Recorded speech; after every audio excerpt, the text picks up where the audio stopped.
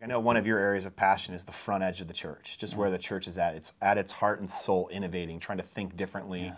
outside the box. When you think about like the summit and its relationship to innovation in the context of the yeah. local church. Can you just talk about that for a minute? Just yeah. talk about why you love that. Talk Absolutely. about why that's such a big deal. yeah, deal. that's a big deal. Yeah, and every generation right. since the start of the church um, we humans have a tendency to put all our baggage and all our sure. well, I was going to say crap, but um, go ahead and say it. Uh, whatever. It's viral, so it's okay. Uh, oh, uh, we have a tendency to put all our stuff on the unchanging, beautiful, life-changing gospel message, hmm. the Jesus way.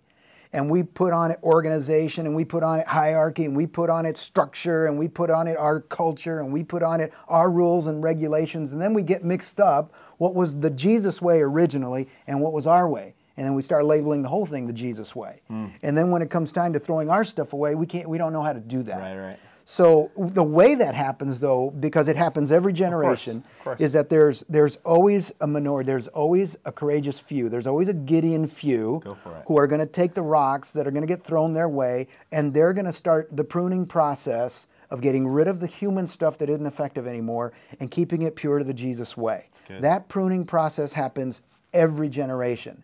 And we see as a very deep calling in the WCA um, uh, uh, serving those people. That's good. I mean, we are not, that. nothing we do is in fact distinctive or unique. There are tons of other organizations, of denominations that do what we do. What's distinct is the laser focused calling that God has called us to do it for. Hmm. And God's called us to do it for the pioneers, these progressives, these innovators, these leaders that are going to go um, uh, go about answering God's call on their life, whatever the risks uh, in their setting, to do what's right for the sake of the church continuing to prevail. And that's the focus of who we serve.